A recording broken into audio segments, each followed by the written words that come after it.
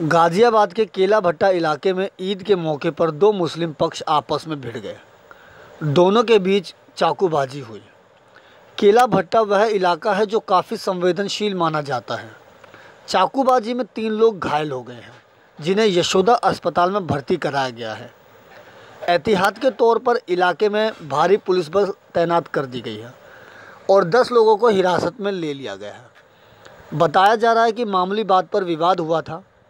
एक तरफ़ जहाँ ईद को लेकर लगातार तैयारियाँ चल रही थीं, सब लोग एक दूसरे के गले मिल रहे थे, वहीं ऐसी घटना से लोगों में दहशत गर्दी पैदा हो गई है। हालाँकि पुलिस प्रशासन इसे आपसी रंजिश के मामले से जोड़कर भी देख रही है। लेकिन ईद के दिन इस तरह से आपसी रंजिश निकलने के बाद जो लोग घायल हुए हैं, उनका त्यौहार बिगड़ गया है। और जैसा कि हम बता रहे हैं कि इलाका संवेदनशील है इस लिहाज से जिला प्रशासन की टीम भी मौके पर पहुँच गई। खुद कार्यकारी डीएम भी अस्पताल में घायलों से मिलने के लिए पहुँचे।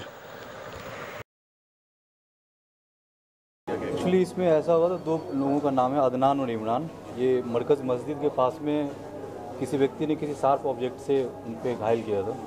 तत्काल बाद वहाँ पुलिस की टीम ओएसडी टीम थी उन लोगों ने अस्पताल भेजा फिर यशोदा अस्पताल में यहाँ आए हुए हैं। प्राइमरली दोनों कंडीशन स्टेबल है बाकी पूरी टीम लगी हुई डॉक्टर्स की। एक्चुअली उसकी कुछ सी फुटेज खंगाले जा रहे हैं तो अभी डिटेल नहीं पता बट हो सकता रंजिश का मामला लग रही है प्राइमरली उन दुकाना पड़ का आ रहा था अच्छा। सकूटी पे था। अच्छा। और सकूटी पे छुरी मारी। और चार पुलिस वाले यहीं बैठे। जिनको छुरी लगी है वो कौन है आपके? मेरा पोता। आपके क्या नाम है उनका? अदनान। नमाज़ पढ़ के निकल एक लड़का आया छुरी मारता हुआ चला गया वो। अच्छा कैसे हालत है वो उन बच्चों की? एक के तो यहाँ से यहाँ तक कटा हुआ और एक का यहाँ से। एक को तो दिल्ली रेफर कर दिया। हाँ और चार पुलिस वाले गेट पे बैठे हुए जिधर को भक्का आया और दरोगा था चौकी इंचार्ज पब्लिक ने कही पकड़ो पकड़ो किसी ने नहीं पकड़ा उसको।